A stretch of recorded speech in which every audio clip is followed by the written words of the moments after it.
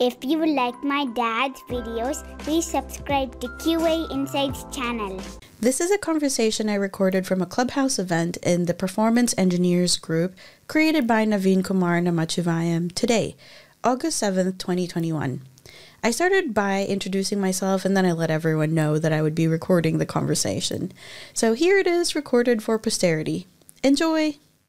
When Naveen Kumar asked me what I wanted to talk about, I said I wanted to talk about how to make load testing scripts more realistic because um, I, in my career, I, I have been a consultant, a, an, an actual performance testing consultant in the last few years, I've been working on the vendor side um, for K6, but also for Tricentis Flood previously.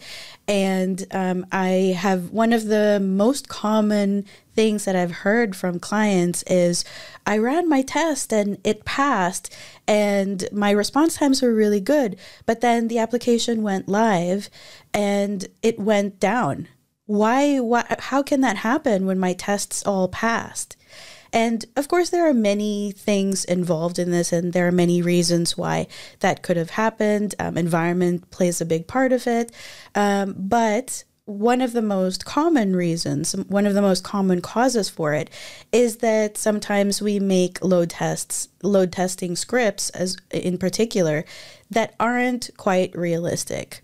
So when I say realistic, I mean that in general, lo- the idea of a load test is to recreate production um, situations or scenarios, right? So we're usually given, if we're lucky, a test environment, but it's empty. So any tests that we do on that isn't very useful unless we have the same sort of traffic. So a lot of our job um, as a load tester is trying to compare the um, the traffic that's in the, the test environment to what we think will be the the traffic and, and other not just traffic but uh, you know size of the environment and data and, and all that stuff of the production environment too. And that's what we call making it production like um, I don't know, Naveen. Naveen, have you also had this issue where uh, tests have passed, but then in production something goes wrong? Yes, of course. Yes, Nicole. So uh, when I was beginning my career in performance, right, I was not sure what to do. So uh, JMeter, I was uh, the my first tool was JMeter, and uh, I I didn't see the option. There were some settings you can change where you can uh, download the CSS file JavaScript file, everything, right? Like uh, browser emulation. So later I figured it out. Then I checked that box, embedded resources. Then uh, I was able to simulate almost like production, but not exactly like a browser behavior. So that was my first learning when it comes to uh, realistic uh, load testing. Yeah, that that's actually something that's really good. That's something that I wanted to talk about as well. I think it's because when you get started with a load testing tool like JMeter, I think all of them have it. They have like some sort of recording functionality, and it's a great way to get to learn a, a tool because you don't have to, you know, manually create those requests from scratch. But um, the problem is that when you just record and then you play it back expecting that that's all you need to do to run a load test, there are a lot of things that you miss. Like what, like what you're saying, Naveen, it, it, like with when you are, if you are testing a web page and you're pretending to be a user that's accessing that web page, I think by default, if I'm not mistaken, most tools, including JMeter, don't download the static resources that are on the page. JMeter calls it embedded resources. Um, and the static resources are like you know images on the page or javascript or other other things that are different from the main html so that's a problem because if we just play that back then we're just downloading the HTML, but a real user would also be going through all of those resources, right? That's correct. Yes. Uh, yeah. Uh, because my manager he was asking why it is showing very less when I access in the browser, it is more than a second. So why there is a conflict in the test result and the actual performance. Then I explained them, okay, this is what will happen uh, uh in browser, and uh, this is what we are testing in JMeter. So that is why there is a difference in the response time. Yeah. And then also with static resources, even when you do add all of those other requests um, to download the embedded resources, usually test testing tools are going to download them sequentially, meaning it finishes one request, gets the response, and then does the next one. But that's not actually how web browsers behave. So web browsers do it in in like groups. So there's a certain amount of re- requests that are downloaded all at the same time concurrently uh, I think in JMeter it's called parallel downloading, but sometimes it's like called concurrent requests. You'll want to turn that setting on as well if you're trying to simulate a browser. Of course, if you're trying to simulate, if you're just hitting like an API endpoint, that might not, that won't be as as big a deal because there won't be static resources. But it's all about matching your script to the real um, the real life action or scenario that you're trying to simulate in production. That's correct, uh, Nicole. Actually, uh, it's a number of TCP connections opened by a browser, right? So it has some uh, default value. So each browser will have a six or ten. Uh, in Firefox, uh, Chrome, you can configure the number. Uh, so I change usually. I change it to some eight or ten, so that my performance will be negligibly good. But in JMeter, when it comes to testing, I leave it as a default. I think it is six in JMeter. Okay. The yeah. number of parallel downloads yeah. Yeah and the other thing too is even if you download javascript or or any any other um, resource that doesn't mean that still doesn't mean that it's the same because depending on the site some sites have these client side scripts that are meant to run in your browser but protocol level tools including jmeter loadrunner uh, k6 gatling most of the most of the big ones uh, they don't run those scripts. They just download it. So when you get the response time that's not the that's not how long the script took to execute. It's how long it took to download it which is completely different. So if you have that kind of application where it's running in your browser then you probably shouldn't be looking at a protocol based tool at all uh, and by the way, like I, I do, I do work for K6, which is a protocol-based tool, but I'll be the first to say it's not the best tool for everything, because there is a part to play. There is a part in the industry for browser-based testing tools as well. If you're testing that kind of an application, maybe look at something like Selenium or Puppeteer or Playwright that is going to not just download but also execute those client-side scripts. I think you forget about your uh, previous tool collaboration, Flood.io. they have a framework. Yes, well, I. I, um, it used to be based on Puppeteer, but now I believe it's based on Playwright. Flood Element is a fantastic tool. I'm still on good terms with the team that builds it, and it is a, a JavaScript. Um, the scripting is in JavaScript uh, or TypeScript if you want, and so it makes it really easy. And it's it's way more resource uh, eff- efficient than something like Selenium, which is it, it's it's it's kind of hard to justify that in for performance tests. But yeah, so, you, you uh, have to match the tool to the job, right? Correct, correct, yes. So Flood.io is a Tricentis company now. So just for information, if you're not aware. Yeah, it's funny because I, I joined them, they got acquired, then I moved to K6, then K6 got acquired. So I don't know, maybe it's me. okay. Um, okay. And those who joined new, uh, please raise your hand if you have any questions uh, with respect to K6 or any load testing concept. You can interact with uh, Nicole. Please raise your hand so that I can admit you to the stage. And another thing that I was thinking of that can change the behavior is cache and cookie behavior. So there's two things that you want to look at, look at two aspects. First is the cache that's set by the load testing tool. So um, some tools, including JMeter, uh, can have this functionality where they detect whether you're trying to you're requesting a, a resource that you just requested and based on that, it may or may not actually pass on that request to the server. So you want to make sure that um, if you're, for example, testing brand new users going to the site, they're not going to have a cache, so you probably shouldn't be using that. Um, and then on the other aspect of this is sometimes there's server side caching. So even if the load testing tool is requesting those um, resources, it's possible that the server notices that uh, it's the same request and, and just sends back the same thing. And that's fine if that's actually what what the settings are going to be in production. But if they're not, then you're going to want to take that into consideration and maybe change it in your test environment too. That's correct, Nicole. Usually I run with uh, with cache, without cache, and then I ask the ops team to clear the cache in all the layers. So I, I will do a couple of tests and compare what is the uh, impact of the cache. Yeah, and I think it has to do with the transaction too, because if you're testing a login, maybe that first one doesn't have a cache if it's like if they've just signed up or something. But if it's a returning user and they've logged in you know recently and they're just refreshing the same page then it probably would be cached both by the browser or the tool and on the server side. So it, it can have an effect depending on what you're doing. But if your application is a kind of site where everybody's just new and they're not spending a lot of time refreshing the same page, uh, then it probably won't matter if there's no cache. Correct. Yes. And I was talking. A couple of folks joined.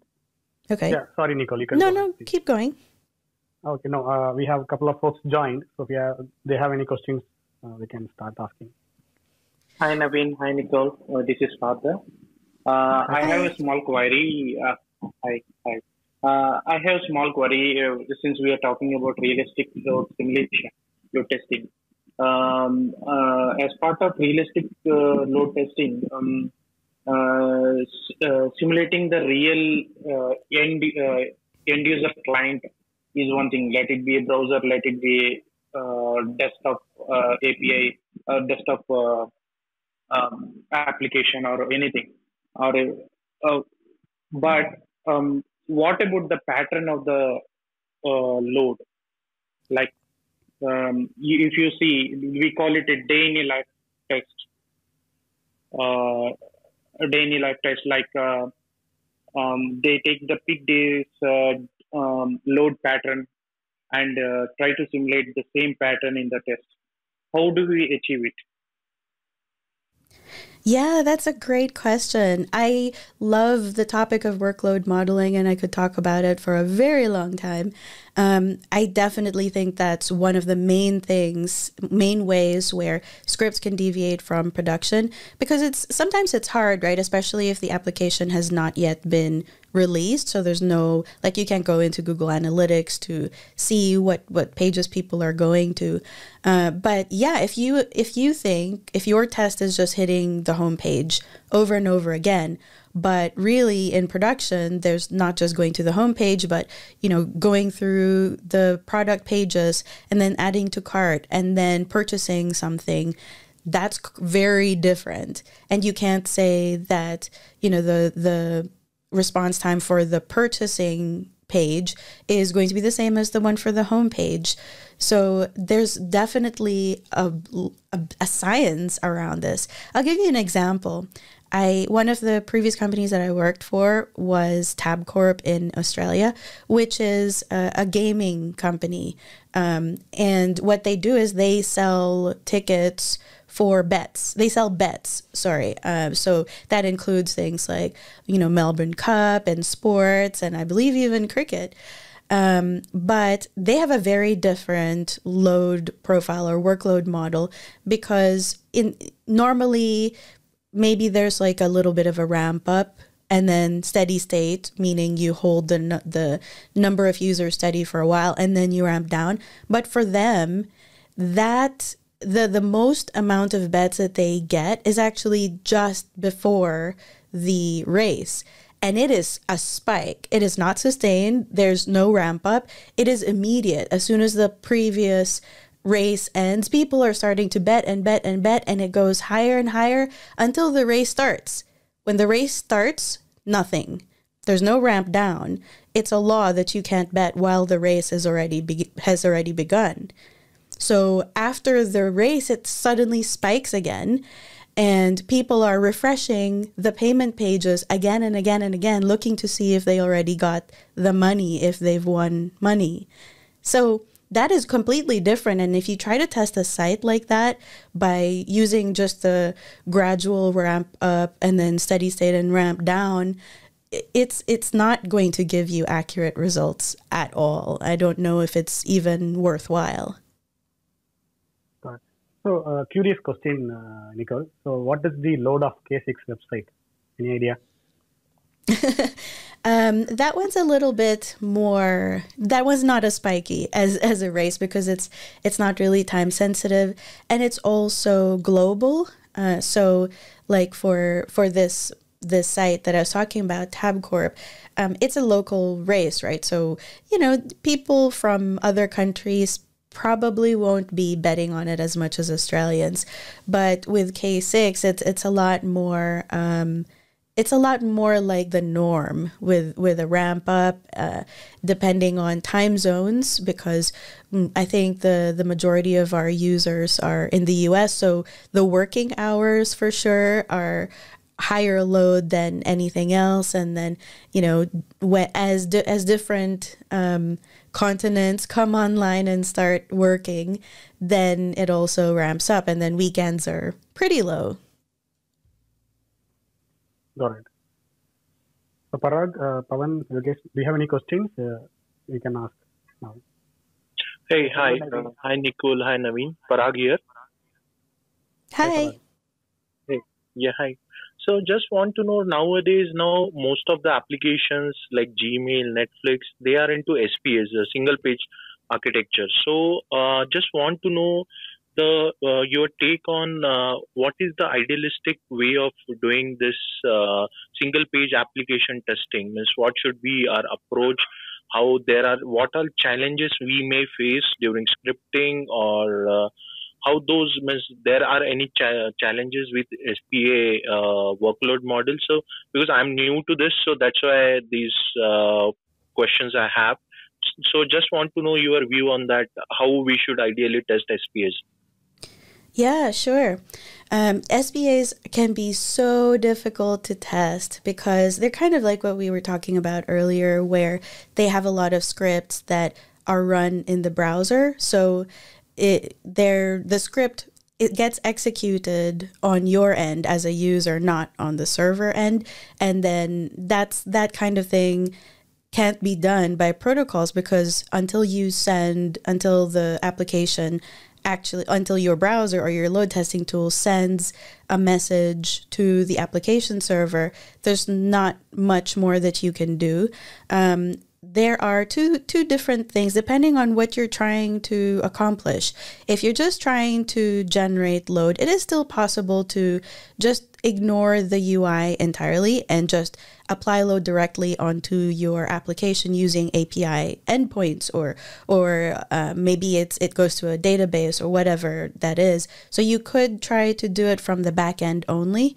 Uh, a thorough end to end test would probably be using some sort of front end tool.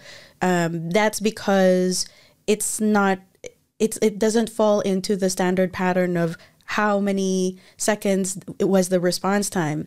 It's more like what was the execution time? How long did this element take to render? And for those, I would definitely recommend that you look towards something like Playwright. Uh, it's it's a little bit different. Instead of like for a protocol based tool, a response time is the time between you the sending the request and then receiving the response right? But for a browser based tool you have to be a little bit more creative because it's based on assertions. You wait for a certain element. So instead of saying how long did it take to download this image? you it, it's something like how long did it take for the user for for the machine to render the image on your screen? Or it could be text or or something like that.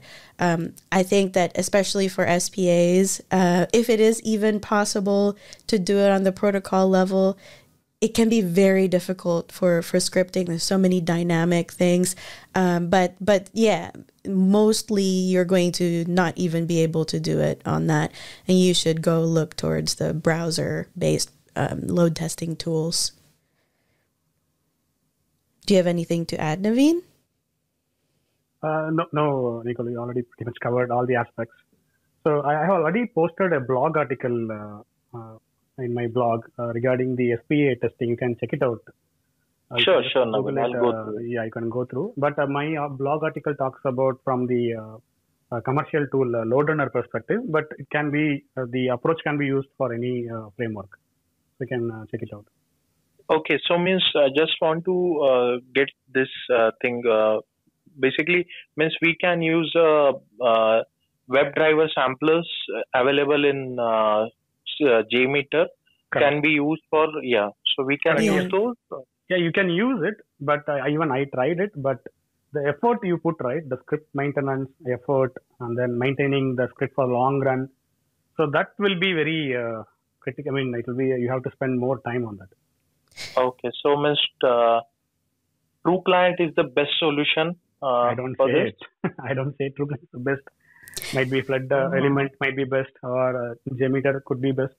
So Yeah. it depends on your uh, what kind of application you are testing, right? Uh, it- it- Uh-huh. Plus, other factors also plays a critical role before you declare any anything uh, best.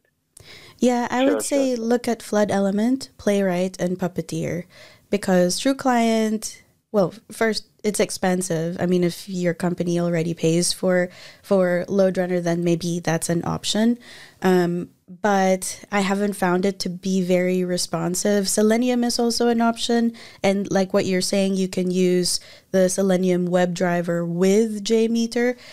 I don't really like that approach because if you're going to do that, then why don't you just use Selenium directly rather than having to drive it using JMeter? Uh, Flood.io, I no longer work from them for them, so I don't get anything. But um, they actually have a way of taking Selenium scripts and turning them into a load test. So if you already have Selenium scripts, maybe you should just do that. And the reason is that it all adds um, to the to the processing power and memory that you're utilizing, right? So, like if you use Selenium and JMeter, then you're using memory and CPU for Selenium, and then also for JMeter, whereas you could just be doing Selenium directly. And the reason that that's important is uh, you will, depending on how many users you need, if you if you like have a thousand users or something, it's going to you're going to need a lot of machines to be able to do that in Selenium without hitting the max of your CPU and memory. So it's it's a cost thing as well. Correct. Yeah, I have uh, extensively worked on uh, TruClient uh, uh, protocol. Uh, I think 12.55, uh, not the newer one, but the memory footprint is very heavy. It consumes a lot of resources. I never executed with a very high load. I tested with around 8 or 10, uh, 12. I always keep the number as minimum as possible because we will not have that infrastructure to run very high volume test. Yeah, I think I, I didn't get to I don't Uh-huh. remember how many users of true with using the TruClient protocol I I had, but I know for Selenium when I was at Flood the the kind of benchmark that we were using was you can run five users of Selenium for a single uh, AWS M5 extra large machine. And that's very little compared to JMeter, which can run a thousand or more you know uh, but that's that's a, a cost choice and and you may not have that choice really you may not have that option if you need something that's browser based. But by the way for for comparison flood element can go up to about 40 users compared to selenium's 5 so way more cost effective. Uh, don't you think uh, BlazeMeter is an option uh, to run Selenium scripts? Uh, in the recent past, we have been seeing BlazeMeter as an upcoming tool, you know, uh, giving so many options. Yeah, absolutely. Um, BlazeMeter is, is like a competitor to Flood in a lot of ways. They have a lot of the same tools. Um, if you do the comparisons, Flood is significantly cheaper. But yeah, Uh, certainly have- in terms of functionality, BlazeMeter is an option. Yeah. Uh, I have one more question. Like uh, nowadays, uh, uh, I have been seeing uh, so many projects uh, and team members, you know, or team leads planning to do load test. You know, and, basically, whenever we do a load test, we generally verify the server response times, right? And then, as you said, the client might client might be coming back and saying there's a difference in terms of response time in production. So uh, don't don't you think like no uh, it should be mandatory for all of us to run at least you know uh, uh, one round of end-to-end testing you know maybe using different options like TruClient or BlazeMeter or FloodIO uh, by at least running with five or ten users and giving a high-level idea you know about how it might run in production. But I haven't, I haven't I'm not seeing that kind of you know planning in, in the recent projects which have at least which I've worked on uh, we generally tend to give only the server response times uh, unless and until client requests us to run the end-to-end test and you know uh, include the browser metrics as well. Yeah, I think that unfortunately for a lot of companies, response time has been it, like it's the one thing that they ask for, uh, depending on their maturity. And the way that I do it is even if they're asking for a response time, I'm still going to do front end tests. And uh, even if it's not part of the scope, it doesn't actually take very long to use Chrome DevTools, for example, which is free. You, you you can open it up in Chrome or Firefox, and then you run through it with your um, especially if it's a website, right? So you go there, and then you see the timings there. And yes, it's not it's not the same as a, as a load test. It's just one user and it's dependent on your network, but it's still like if you can record that as a HAR or something, you can prove as well. Like, hey, um, on on Chrome DevTools, I also got three three seconds or something, and so then you can kind of justify your tests that way.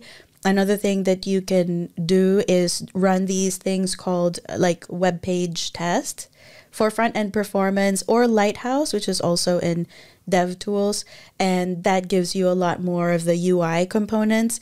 And it's very little time that you need to do because it's all automated. You basically just start it and it's free. And I think even WebPageTest will do several runs of a page.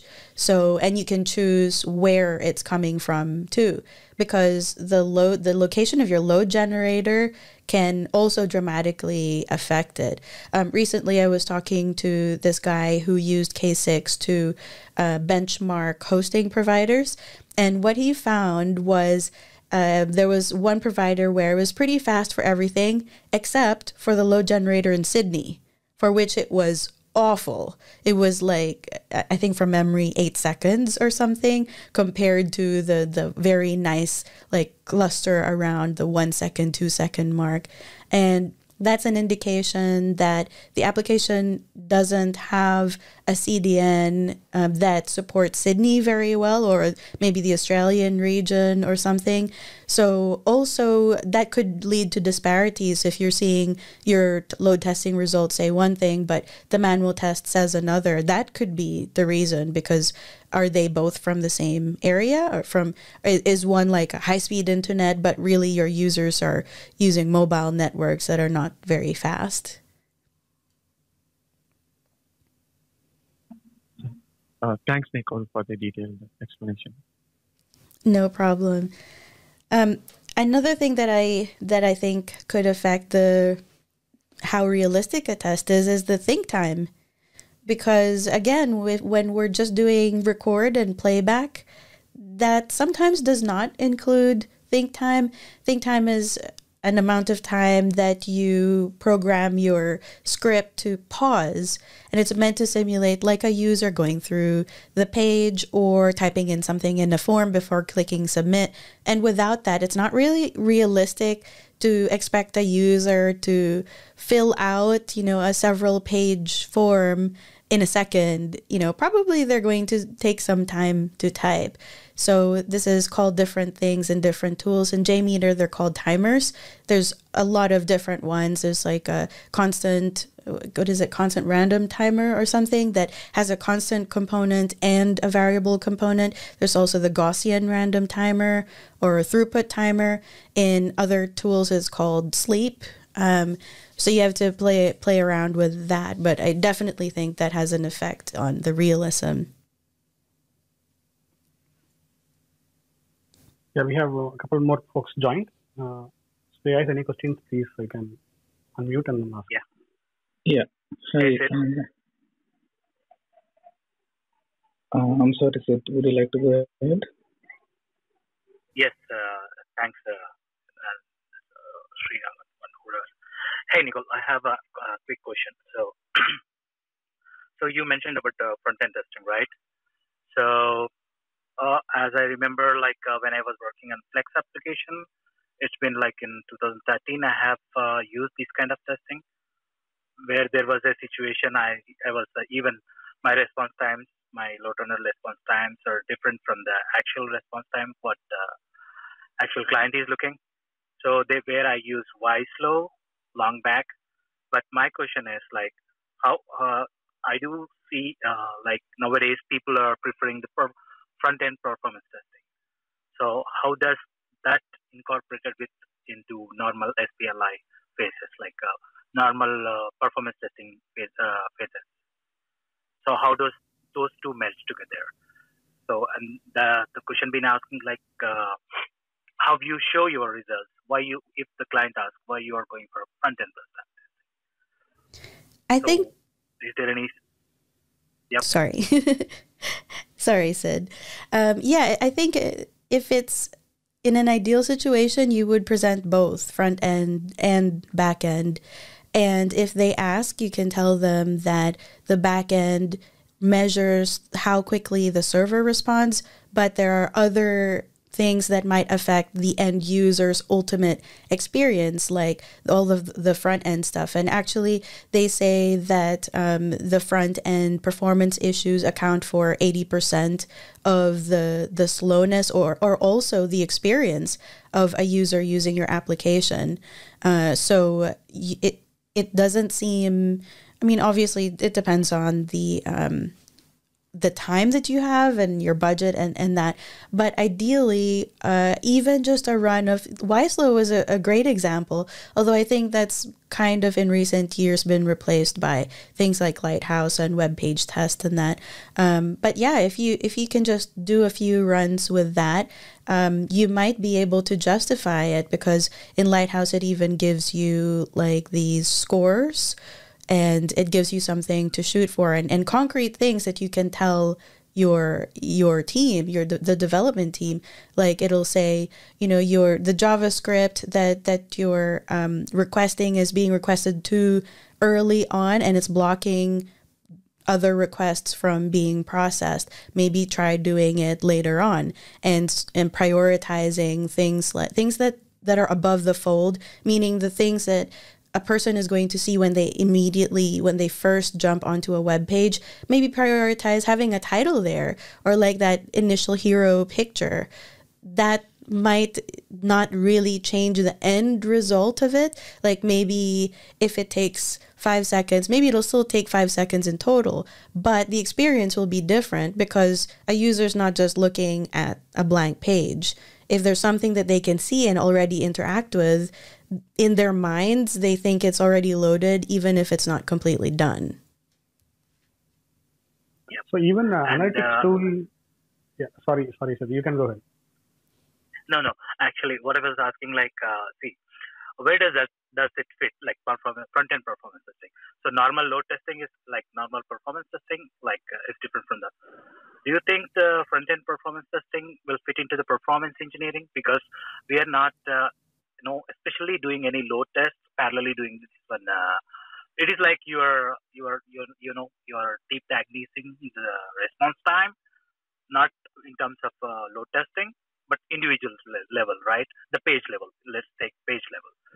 So, what is the necessity of incorporating this performance testing into our general performance testing? What do you think? So it, it has definitely a place to be holded into the normal performance testing life cycle. Do you agree, Nicole? Yeah, absolutely. I, I don't really make as much of a distinction between it between the two. I just call them all performance. And you know what you call general performance, that's I think um it, it is it's unfortunate that people tend to think of that as the just the back end stuff, but I think I think performance is both the front end and the back end. And I think they're intrinsically tied. I never do one without the other. yeah. So what I mean to say is like very rare we get to. I mean, I got only one time long, long back in 2013. That was a Flex application to do the for front end performance testing. But after that, I never get a chance to do that. So, so that was my point. See, actually, in front end, you can reveal uh, a couple more defects. Uh, mainly, Yeah. right, the development team they don't uh, uh, compress your uh, JavaScript or CSS might not be compressed. That will take more time to load. Or even the DNS lookup time also might be like say uh, 50 or 60 milliseconds, but ideally it should be less than 30, 20 milliseconds. So that is also a performance issue. So uh, whenever I start my uh, UI performance, right, first I open the website and then uh, open the Lighthouse Chrome DevTools and see what's going on. Then only I start my uh, backend uh, scripting for JMeter or using Neoload. Then I present both the findings. So it is like a complementary to the development team. Okay, uh, let us optimize the front end, which will improve uh, performance uh, certain aspects, right? So I use my uh, GTmetrix for my blog. I use Google Analytics also. They have a performance view. So if you open Google Analytics for for your website, you can also see the performance aspects. So nowadays, all modern tools they have performance tab in almost uh, every uh, feature. They, they implement these feature in uh, almost every tool. Yeah, GTmetrix is a is a good one. Um, I also want to add that I also so I do the same thing as Naveen. I I start off with it before I start the scripting part. But then what I also like to do is while the load test is running, I do it again. I run the lighthouse test, but this time with a load, so that I, I can see how what the differences are from the, my initial one when it was just me to now with the full load. That way you get it's like a hybrid test, right? It's Correct. it's still a full load test, but it's still a back end test, but you're also doing front end at the same time. Correct. I think they have a generous free plan. So every week uh, I will get my my website performance uh, from different locations. So something is uh, alerting, right? Then I will uh, go to my backend and see uh, if there is anything plugin is outdated or anything I can optimize. Then I do the optimization. Then it will back to the within SLA. So these kind of tools will help us to run your website smooth. Uh, speaking about the Google Analytics, I, I'm, I'm, I'm going back, uh, Nicole, when I joined the call. So you were speaking about the load modeling and load profiling. So you were telling about some Australian company for betting and everything. So where they they don't care about the ramp up and so so this kind of analysis, don't you think it should come from the uh, the PO or BA? So they should let us know, right? Do you think do we have to dig into that level, like uh, analytics, like Google Analytics or any or like you know any other tool, which analytical tools which will give the stats about the path. So, what do you think our our our role into involving into that uh, that uh, that level? I definitely always ask the team and other stakeholders what they think the load profile should be, but uh, in my experience, they it, it has been very obvious that their expertise may lie elsewhere and maybe they haven't really thought about it in those terms. Um, so I always think critically and I listen to them, but I also try to find out for myself because there have just been so many times that I've gone and looked and and they say that oh nobody ever goes to that page. And I and I'm able to say well actually I looked at the analytics and they people do actually go to that page but only at the certain time or only after the certain stage or something. Uh, so I think it is part of the job of a performance tester to think critically and just have curiosity about, you know, what if you're wrong though? Or what if nobody ever really looked at that? yes, I have faced that situation recent times actually. Uh, I'm into I'm working into Kubernetes. It's a rest. I mean like uh, microservices. So so they gave me the estimation to I mean like uh, give me the requirement NFR requirement for 10 hits per second for one microservice to deploy into Kubernetes. But when actually it's uh, it's into the uh, prod, so after one month, the you know your hits per second pumped up for 10 to 20 hits per second. So nobody I mean estimated. So which I know uh, which showed into the 503s. So all of a sudden client came, why we are seeing 503s. So so they, then I have to look into the prod with the Tableau metrics. So there I can see was we need more instances, to support 40 hits per second. Actually estimated is 10 hits per second. So yes, you're right. But th- that is the exception of the rule. That's a that's a good story, and I, I really love Tableau too. Um, it's one of the reasons why I really like raw metrics, if if possible. Um, but also sometimes it's not a matter of you know the VAs or or the rest of the team not knowing their job or, or anything. It's just sometimes people are just irrational.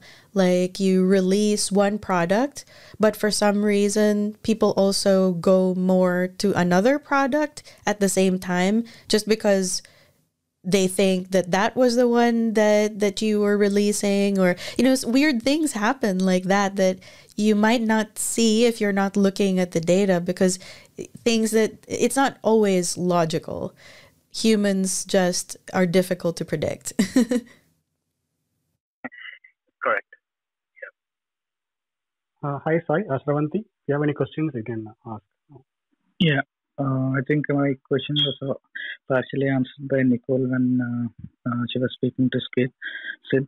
Uh, but one more thing, um, we are talking about, for example, in LoadRunner we have this um, a protocol where it will Im- simulate a client side uh, uh, browser interaction, right? So, what is the need exactly of it? Because what I think uh, uh from the front end performance testing perspective is that during our load testing, let's say when you are using JMeter like tool, you all, uh, also download the embedded resources if you checked it wherever it is required. Um, and uh, what my assumption would be like i mean what i would be doing is that i will do the full load test using the uh, jmeter which will uh, uh, simulate the load. And uh, parallelly i will run um, the single user test uh, if the functional automation team has any scripts similar to like our um, our test case performance test case i would like to run those and get the stats or maybe we could also use this uh, lighthouse tool during our load test parallelly. So my question is, why do we need that protocols and why they are selling it uh, and making it a big thing? What difference does it make? So just to just to clarify, you're asking about why do we need protocol based tools and instead no, of just uh, using front end ones? No, uh, no, the other way around. Oh, uh, sorry. This yeah, yeah, yeah. Okay, yeah. So you can think of it as they're they're measuring different things. So from the application server to your computer, for example, that's back end. That's the protocol level stuff. But what happens on the computer isn't monitored by that, isn't measured at all by that. So that's a whole chunk of the user experience that we're not looking at because that's the part that the user interacts with the most. So when you know when we browse to a site, we're not like, oh, you know, their database responded within 2 seconds. We don't know that. We just think, oh, the button came up and it was within 3 seconds or or whatever. So we think in terms of buttons and fields and images when we're using the site. So it might be that your server is is super responsive and really really fast and sends the the requested resources very quickly. But if the front end performance is bad, it's the same thing. Users are still not going to have a good experience. And that's why it's important to test both. Yeah, yeah. I mean, even I do that, but what I'm trying to uh, understand is that uh, let's say we have a TruClient protocol, right? Uh, and uh, LoadRunner is selling it very hard. So uh, I mean, in the free version, let's say if we have a TruClient protocol for at max 50 users, why can't we use those free versions?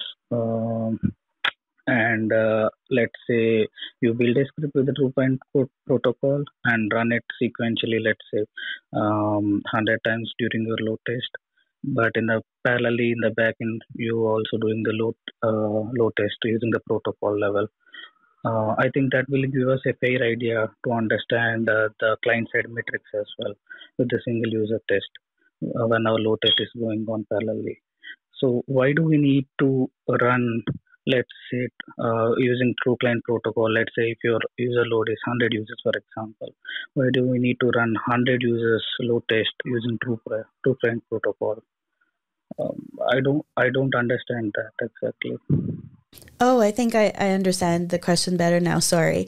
Um, yeah, one reason, maybe not a hundred. I, I do think that you've hit the nail on the head that in general, in a sort of hybrid approach, you want to maximize the the amount of users that you're running with a back end or the protocol level tool and minimize the front end one because that's expensive and time consuming and, and all that. Uh, some reasons that you might want more than one user is that you want to still increase the samples that you get. Because if you have you know 10,000 users or something and only one of them is a front end user the chances of that one user coming across a glitch or, or something are are still significant and they will affect your results.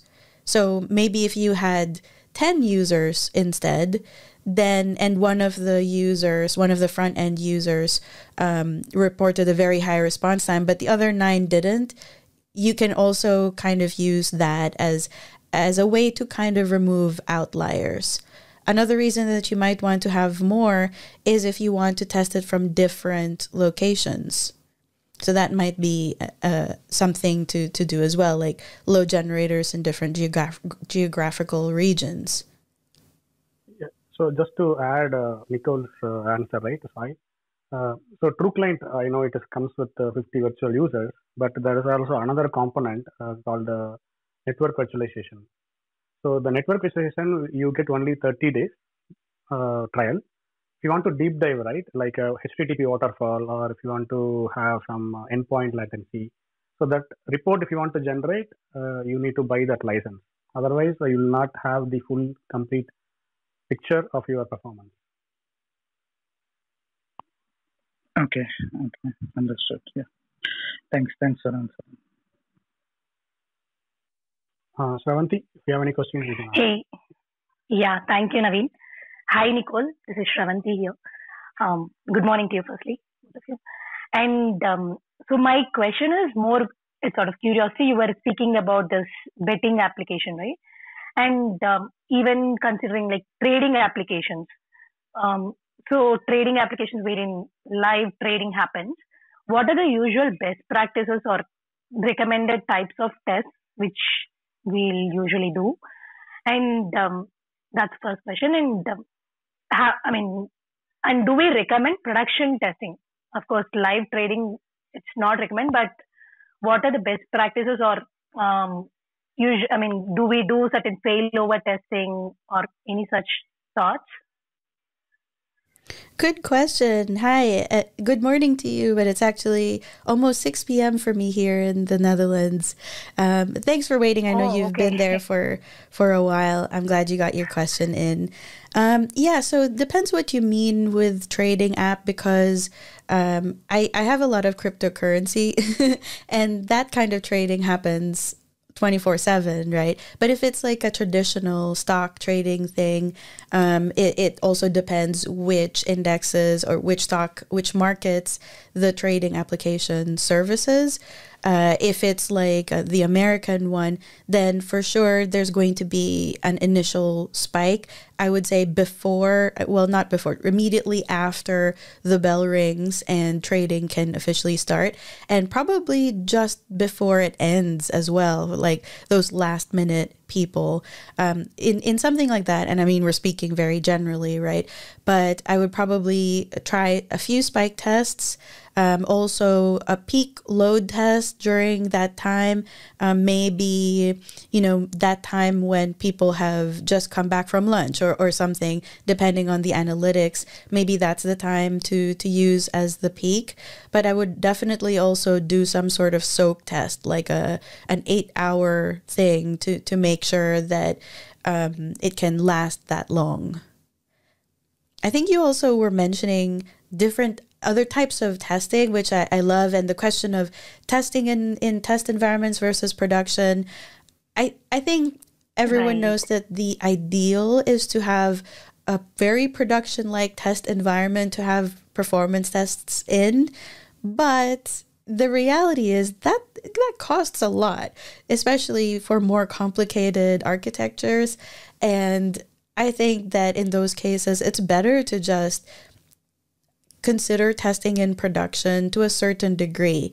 I think things like failover tests or or that kind of thing, you have to think very hard about whether or not that's worth it depending on the load you get. But maybe your application is like, oh nobody uses it during the weekend.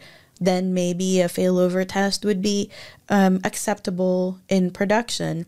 But there are also other kinds of tests that you can do in production that aren't so destructive, right? So, so I, I really love like synthetic monitoring or, you know, small user tests that run continuously throughout the day.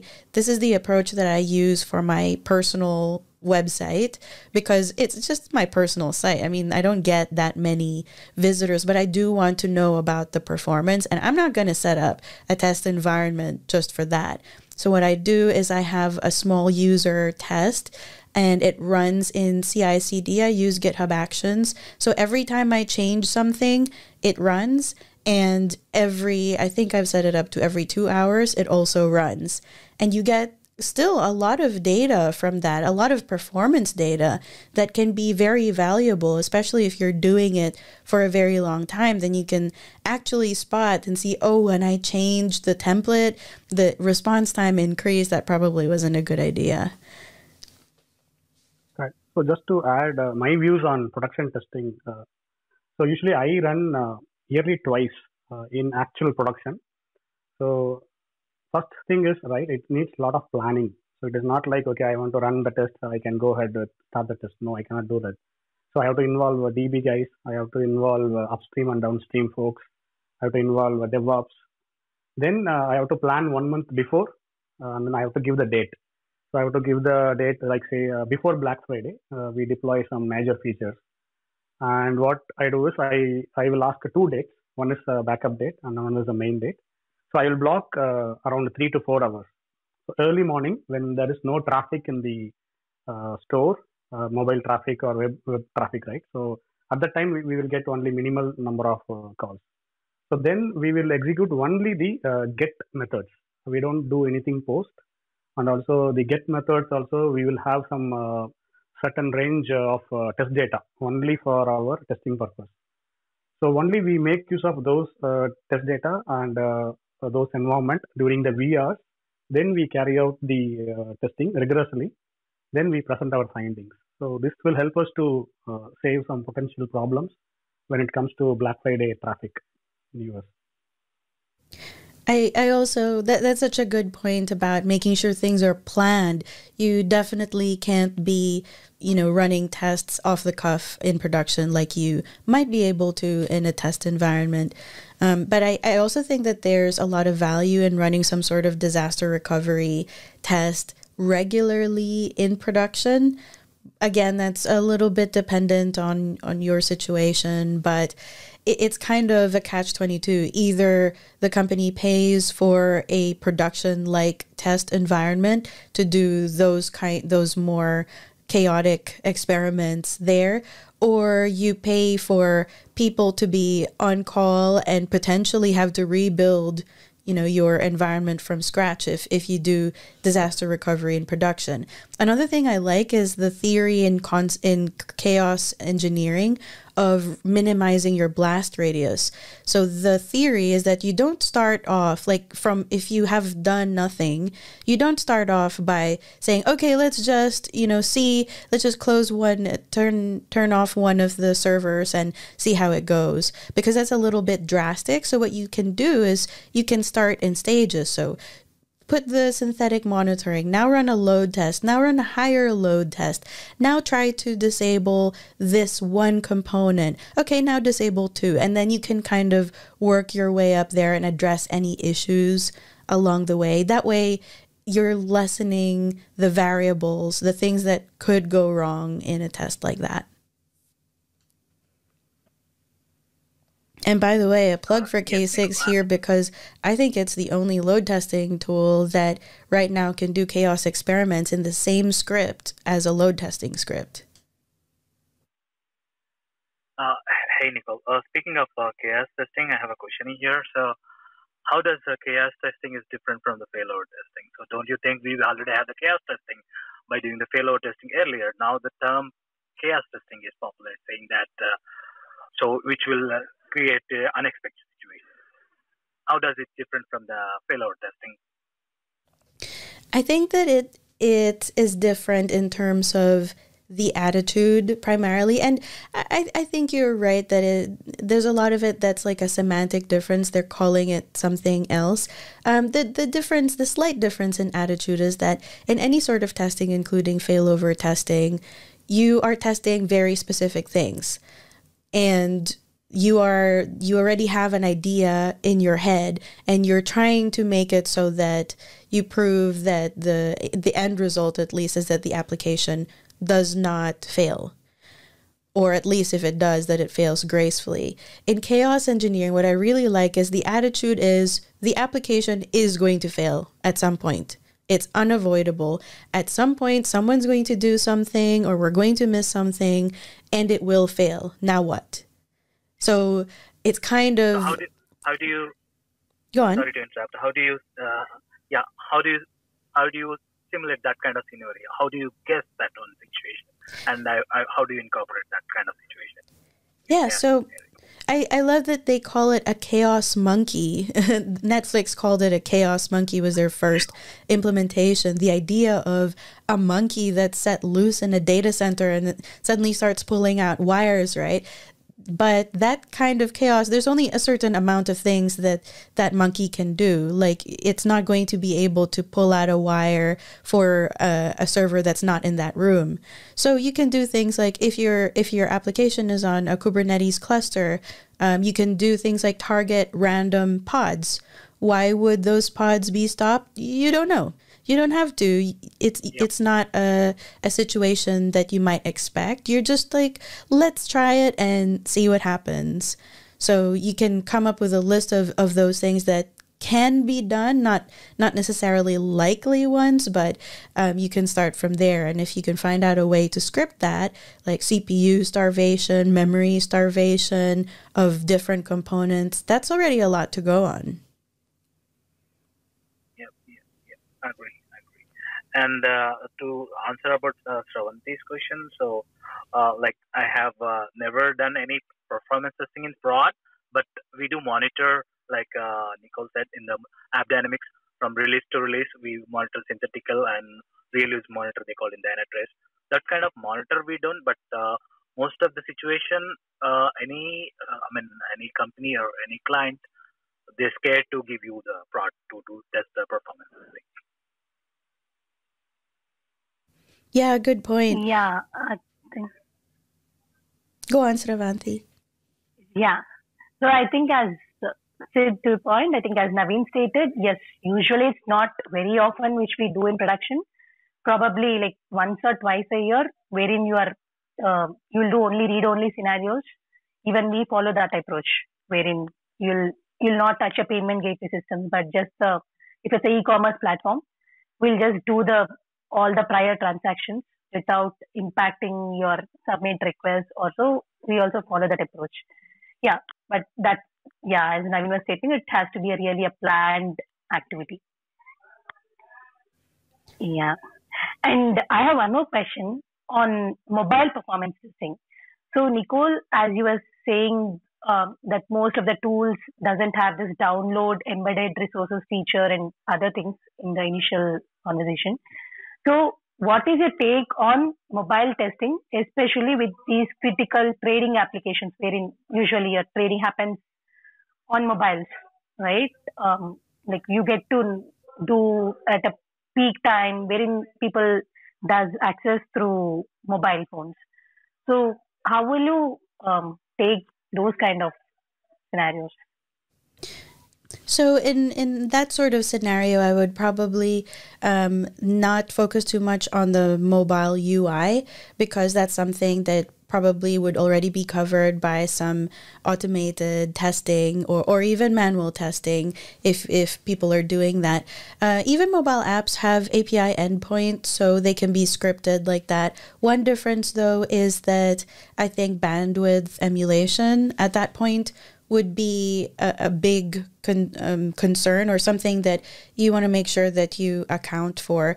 Because if most people like if you think about the Robinhoods and, and that kind of app um, they target like millennials and people who do everything from an app.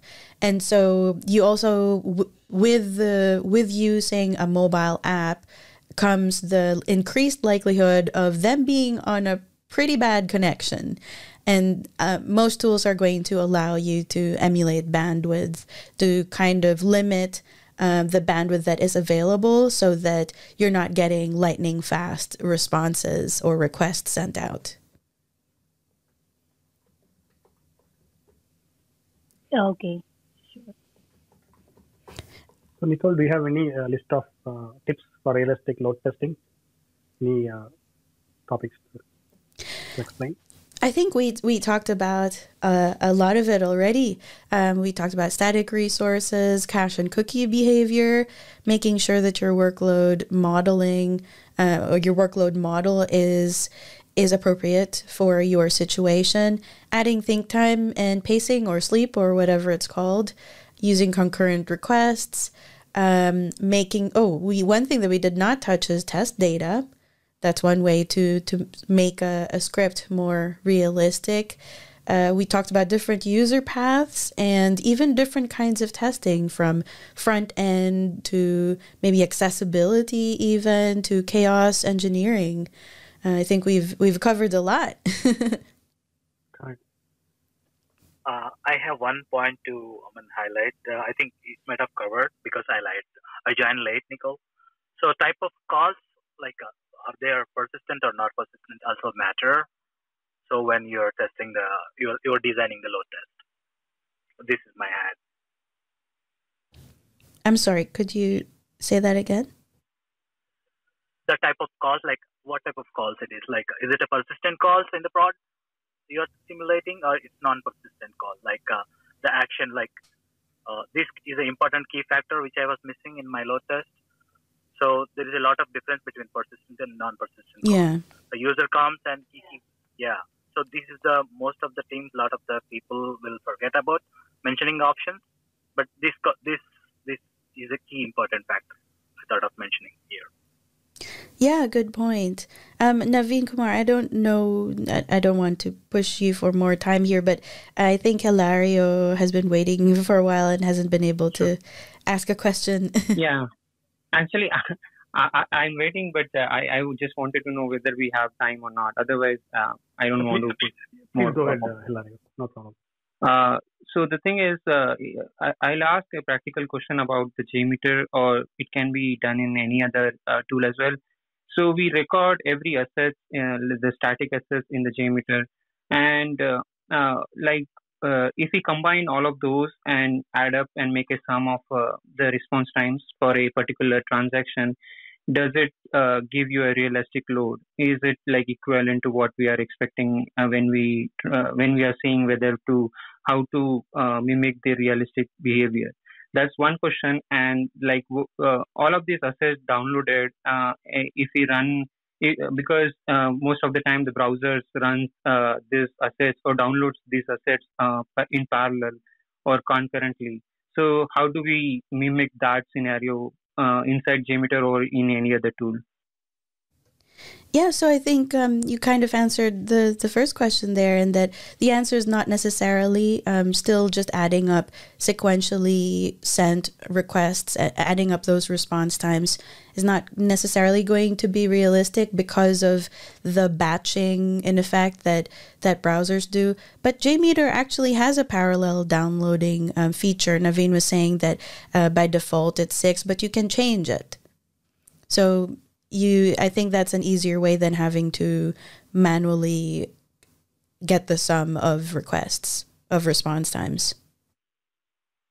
Uh, Hilario, if you go to HTTP sampler and if you go to advanced uh, tab, you can see the embedded uh, resources section. Uh, you can uh, check that box and then you can configure your number. But uh, Yeah. don't configure, leave it as a default. That's a recommended number, six. Yeah, but then the requests are getting uh, called sequentially, recorded sequentially. It doesn't like no, no. For the particular sampler, it will behave like a browser. How your browser is sending, it will try to emulate that when you send your, your uh, JMeter. okay. Thanks. Yeah, Yeah, so I it is think implemented the W3 standard actually. The HTTP client in JMeter, it follows the standard. So it is not a custom uh, implementation. So they follow all the uh, IETF uh, RFC uh, specifications while implementing this uh, sampler. So you mean to say when we repeat the test or uh, replay it, uh, this request will be uh, executing in parallel? No, it tries to behave like a browser. So the browser, however you are accessing, right, the same behavior you can see it in JMeter. yeah, Okay. so I It- think it the tries to be a browser, confusion yeah. The confusion is that in like view results tree, it will look like it's sequential, but if you have the right settings turned on, it is it's going to be downloading in parallel. Yes, uh, you can check it out uh, in the request time. So every request will have a timestamp, right? So what time it has sent. You can see some negligible uh, uh, difference in the milliseconds. Got it. Um, do you have any blog on this, Naveen? I have put whole video, 60 plus videos are there. so one video talks about 30 minutes only about this HTTP sampler in my YouTube channel. You can check it out. Thanks. There is another way actually. In the J, JMeter, there is something called a web plugin. So which, Uh, yeah, which is a, yeah, there is Selenium another web driver. Yeah. Sil- uh, Selenium web, web driver. So that is actually a very good plugin where we can use that to test the UIs. So yes, basically was, uh, will- talking about this earlier. Uh, so yeah, I was I used that particular plugin, but in terms of maintenance of the scripts, uh, it need it's cumbersome actually. It is very tough to maintain. It uh, it is uh, it will create a lot of uh, regression changes will be there. So uh, per, per, personally, I don't uh, prefer the Selenium WebDriver. Uh, you can go with uh, some other tools like a Flood Element or uh, some other Playwright. But JMeter, it's kind of very tough to maintain for long run.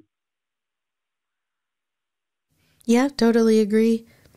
We were saying earlier that um, my personal preference is if I'm rather than consider JMeter plus Selenium WebDriver, I would rather just do Selenium WebDriver or JMeter, um, just because I don't see the point in daisy chaining two different tools and you have to deal with two different ecosystems as well and and you can both of them can change including this it's just it just gets a little cumbersome like Naveen said I mean, I spent two weeks. I I I gone mad. Why I'm spending so much time on this? Then I gave up. Then I uh, opted uh, TruClient. In TruClient, just a uh, uh, couple of hours I I spend, we can create some script. So this is for POC I have done. So yeah, it takes time to maintain the scripts.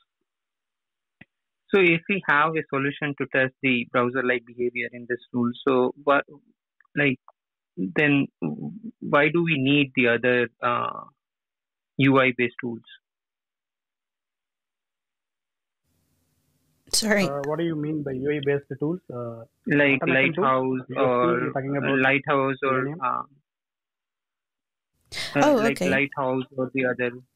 Yeah, because uh, things like Selenium, they work on um, how when a, a, certain element is rendered or when it's visible or when it's clickable or something like that.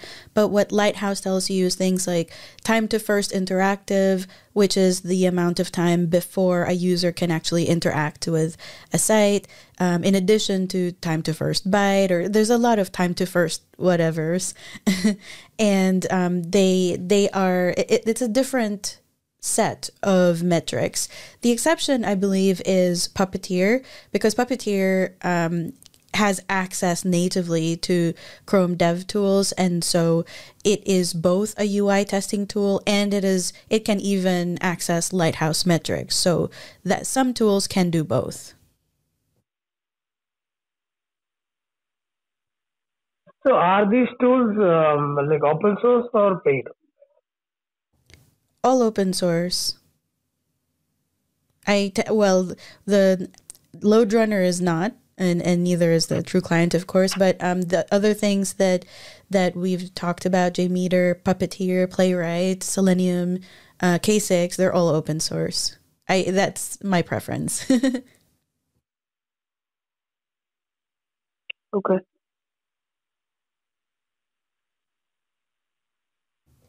Uh, we have Mrinal. Hi, Mrinal. You're not audible, Mrinal. In 200 meters, turn left. Someone's driving. Mrinal, if you are driving, please. Uh,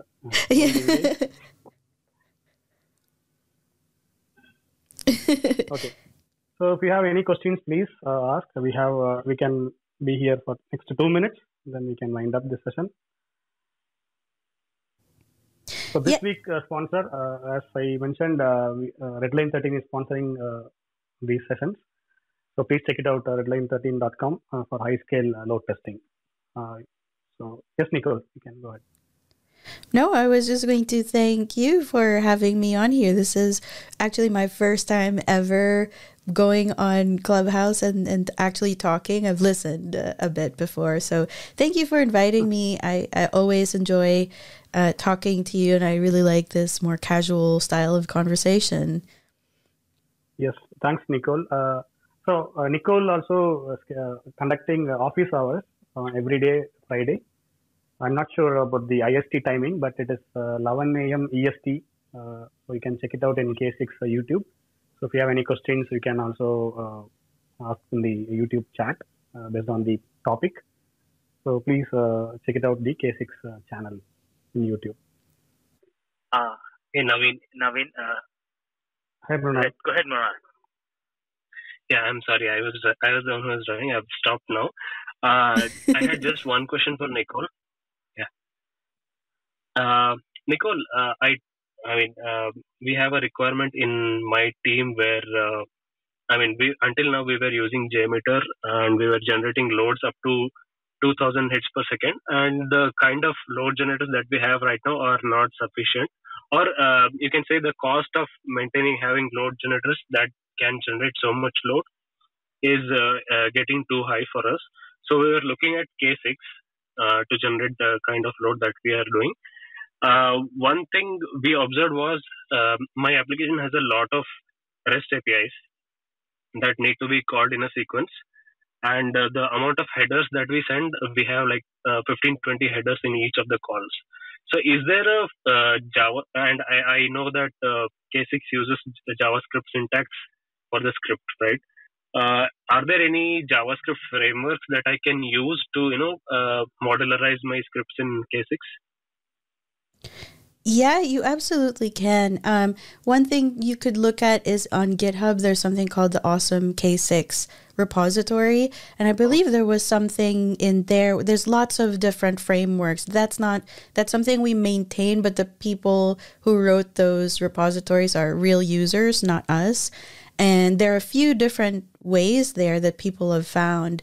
Um, one that comes to mind was like a, a Mocha framework for K6 that makes it just a little bit easier to do things, including adding headers and that kind of thing. Okay. Okay, I'll check them out.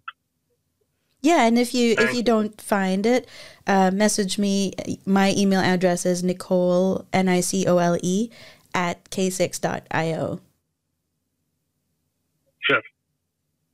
Thank you so much. And also, if you want to learn K6, uh, I have started a new series, uh, Learn K6 series. So you can check it out in YouTube. So I, we are planning to cover uh, more uh, uh, features in the upcoming videos. Right now, we have around five videos. Uh, again, five more videos are coming up. Yeah, I love Sure, them. Naveen. Thank you. You're doing Thank a you, great guys. job. Yes. So next week uh, we are going to talk about recording and scripting challenges on August 14th. On August 21st, we have Karthik from Chaos Native who will be talking about uh, chaos engineering uh, concepts. So those are the two upcoming sessions. Uh, so stay tuned and please refer our clubhouse to your friends. So right now we have around 275 members. So let us let try to uh, please help me to reach around 300 quickly. Thank So you, thank everybody. you, uh, Nicole, uh, for your time. Uh, hope uh, uh, we will see you again uh, in next couple of months with a different topic. Yeah, thank you, Naveen, and thank you, everybody, for listening. Yeah. And have a great Have weekend. nice weekend. Yeah, thank you.